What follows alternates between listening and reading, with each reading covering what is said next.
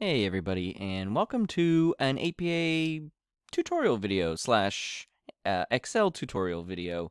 Uh, there are probably dime a dozen uh, tutorials on today's topic, but you know, I thought I'd give it a go uh, on my own and, and talk about the things that I like um, in Excel to do today's tutorial on scatter plots and lines of best fit in Excel. So here I have a set of data that uh, I am going to use to make a scatter plot. And uh, scatter plot is one of the more common chart types that Excel has. And you can see here that I have two continuous variables and uh, and they will go together nicely in a scatter plot. So how to do a scatter plot. So we're going to go to insert and um, we are going to go to recommended charts here and you can see that little this little image here is an XY plot so named by Excel and the folks at Microsoft, but also says scatter. So we're going to click on that and you can, there are a bunch of different kinds of scatter plots, but we're just going to go with the traditional kind of scatter plot where we're going to plot an X value and a Y value.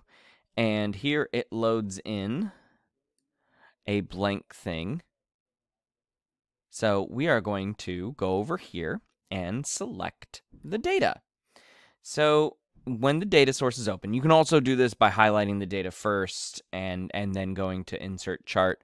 But I'm going to go ahead and select all of this, all of this as my data. As we scroll, scroll, scroll, scroll, scroll, scroll, and here it's done. Okay, and here you can see that it already can tell that there are two columns of values, and when you set up your data in Excel, generally speaking, reading uh, left to right, left to right, it will read one column as the x value, the one on the left, and the one on the right will be read as the y value. And so you can see here, and then you can you can put in a name if you want to to change instead of it being series one, but it's fine. Uh, down here, hidden and empty cells, you can either have gaps, zero, or connect data points with a line. Uh, because there are some empty cells in here, I'm just going to leave gaps for that. Um, and you can also check to show data in hidden rows and columns if they are part of your series, your data range at this point. And the cool thing about this is if you wanted to, you can add in multiple series. And so you if you had a set of data points, so more than one set of XY values on the same scale, you can put them in the same in, the same plot. And that's what I that's what I've done with that's what I had done with my dissertation data. Uh, I had put them in uh, multiple. I think it was three three different uh, three different series on the same graph. And it's really nice if you want to make comparisons, especially if they're on the same y variable unit of measurement. So I'm going to go ahead and hit OK here. And it put in all of these small little dots. I'm going to enlarge the chart here since I have all of this space so you can see all of my little dots here. And uh, we have some elements that we're going to have to fix. So you can see here that the plot area has all of these grid lines on it. Well, I want to go ahead and take away some of those grid lines because sometimes grid lines get in the way. So I'm going to go ahead and uh, take off primary horizontal to make it, you know, readable, and then primary vertical. And the only thing it leaves me with is the zero on the, this is milliseconds, and I'll go ahead and label that in a minute. It, it, it just leaves the zero mark along here so you can tell what's negative and what's positive. Okay. There are a couple of el other elements that I can get rid of here. Uh, I don't need the chart title, but I am going to need to modify some of these axes. So let's go ahead and modify the vertical axis here. And it'll bring up the axis options. And um, what I want to do is I want to go ahead and um, instead of work, working on axis options here and or text options, because you can do text fill and text outline, I don't really need that yet. What I want to do before I do anything is go over here and change the font size and the font. So I'm going to go with 14, so it's readable at most reading distances. And I'm going to change the font. Now, Calibri's fine because it's a sans serif font, but I kind of uh, like Arial for this, and, and because it is also a basic sans serif font. Okay, so I have all of this. And the other things that I want to do is go over here. Um, now, you could change your minimums and maximums. Now, I have a data point right here, which is 18, uh, 18,000, 18,500 milliseconds, so 18 seconds. Um, I could change, you know, my maximum to 19 to squash it down a little bit more. And then over here, we have um, minus 8,000. This is a change in timing, by the way, and that's why there's minus time here, because it means people got faster. Uh, minus 8 seconds here, and so I could change this if I really wanted to, but I think I'm going to go ahead and leave these auto uh, uh, these auto bounds. Uh, I could change the major and minor axes. I think five seconds is fine. It makes sense. I could make that 2500 and add a few more um, points for comparison. So if I click away from that one, uh, the minor unit now becomes 500, and you can see that here I have um, every two and a half seconds represented on the graph. So it, it, makes it a little bit easier to read, and I'll go ahead and, and do that. And now with the other one that I want to do is I would like to um, add in my tick marks. And uh, generally speaking, I add them to the outside, and you can see just a bit the tick marks are there. Now we could, if we really wanted to, make this line of the axis quite a bit pop pop just a little bit more. So we can we can instead of gray which it is right now gray on white we could actually make that black if we wanted to. And so it makes the axis itself uh, black and the tick marks themselves black. So if I click away from it you can see that it gets click away from it, you can see that it gets uh, more uh, distinguishable. Okay, and that's all I will really do. I will leave the letters as gray so they're not as stark contrast against the white background here. And so I kind of want to do the same thing with my double click on the uh, x-axis here. So again, we're going to go to axis options uh, I will change the size of the font in just a, uh, just a little bit. But one of the things that you can do is you can change where the bound is. So you can see here that I have placed the numbers themselves of the y-axis below the rest of the graph, which means that the line for zero seconds, so no change in reaction time, uh, that stays where it stays, but then the axis itself, the, the, the data labels for the axis itself are below it, which means that they won't get in the way of any of the dots that I have here. And that's the reason why I chose this data is to illustrate that point a bit better. So we'll change that label position there.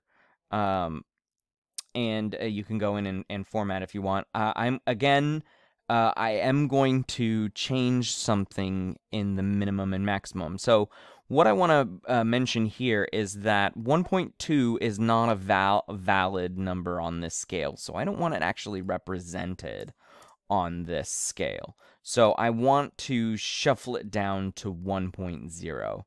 Okay, so that's and and by doing that, by uh, spreading this range out, I was able to, which is something that I was going to do, but now I don't need to, is I was going to make it every 0.1 on the major unit scale, but now I don't have to because it uh, it's there. Now, th if this did not have a, uh, you know, span uh, plus and minus a zero to have the axis there, I would prob I would most definitely put in um, uh, tick marks here. But because they are where they are, I don't know if the tick marks actually look all that good. So, I mean, and outside is technically still inside the graph area, so you know, it doesn't really make much sense. So that isn't that is an option. I would I would leave it to you to do that. But the other thing that I want to do is I want to go to line and I want to also change it to black so it's a little bit starker against the grain. And then the last thing I'm going to do, which was the first thing I did for the other one, is I'm going to change the font to Arial. And again, I'm going to change it to 14. Now it shifted the scale up, and that's because um, these these numbers got bigger. And you can see the tick marks themselves got bigger as well. Now, uh, I'm sure there might be a question about like, okay, well, what if I don't want the numbers to be uh, gray and I want them to be black? Well, that's where you go to this font color changing, and you can see that it's this color selected here. You can change them to black if you wanted them to be more stark. And if I double click on that, same thing here is because I just used it, I can do it there as well.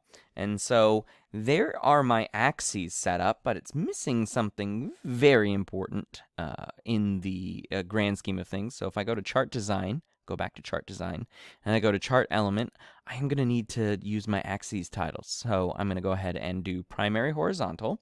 And again, um, this is a default size and uh, um, font, so I will have to change that.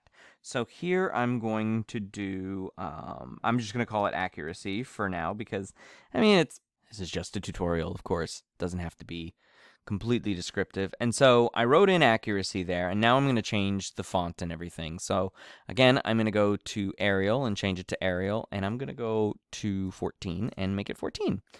And uh, I am also going to make it black to match with the scale itself. Okay, and so there it is, accuracy. Okay, so from zero to one, how accurate? How accurate were you? And then I'm going to do the same thing. I'm going to go back to chart design and click on axes titles and plop in the vertical axis. And here is um, uh, reaction time difference. And so this is difference in between two tasks. And then um, ms in parentheses because it it reflects milliseconds. That's why there are that's why it's in thousands. So I'm going to color this black because that's where I'm going to do what I've done on the other ones and I'm going to change that to 14. I'm going to hit enter because that's will make it bigger. I just realized there's a Z in there. And I'm going to go ahead and do Arial and click over here and get rid of that Z. All right. So here we go. We have um, reaction time difference in milliseconds on this. We have accuracy on this. We have the horizontal line starting at zero, so we can see the dots for each individual pair of values, which I think is great. Now, if you double click on any of these, uh, the interesting thing is that we'll highlight uh, a few of them. Uh, don't worry, if it's in the same series, it is all of them. And we can change the marker if we want. So here it's automatic, but uh, and and usually I think Excel for the first series will default to circles. Um, but you can go to built-in and so you can see that it's the circle selected, but you can choose for it to be squares. You can see that all of them, even though only a few of them are actually highlighted when I double click on them, all of them are squares.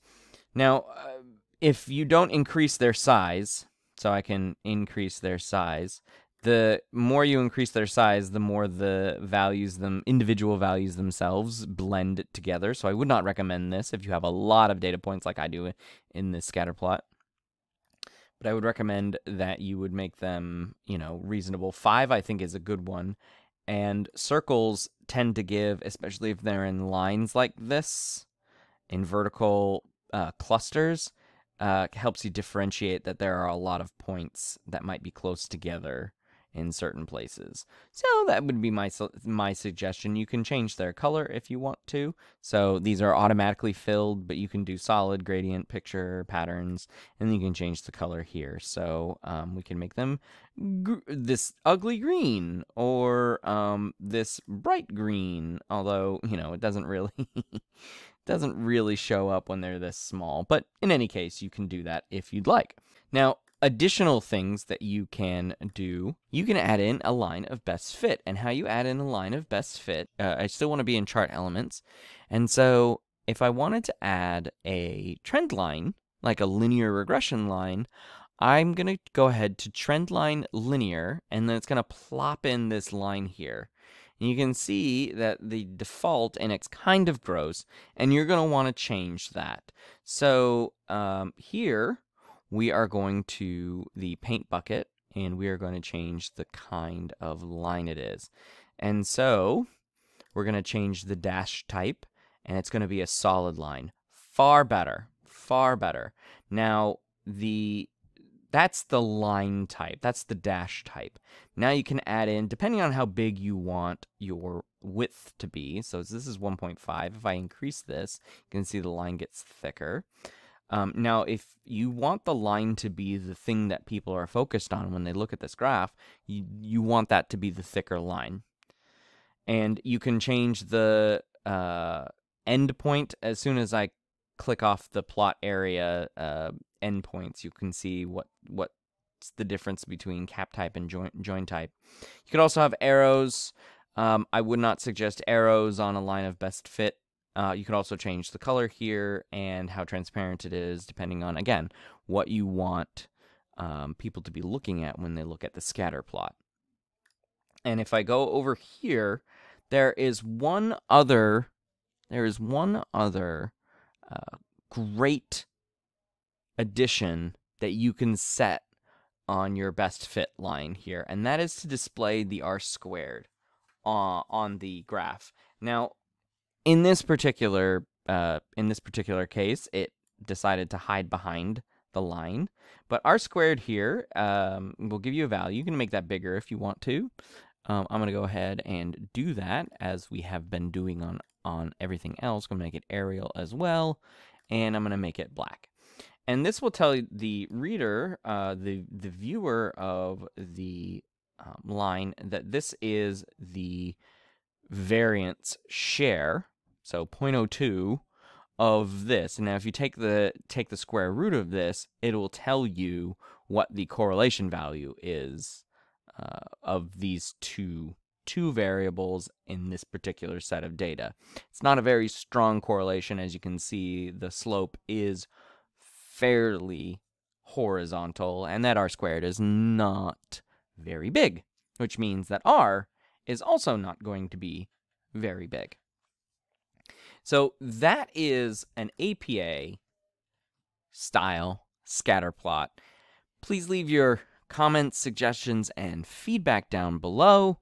Uh, please like and subscribe if that's something you want to do. If you want to see more tutorial videos in APA and Excel, Jamovi, JASP, other psych related science streams. Thanks for watching.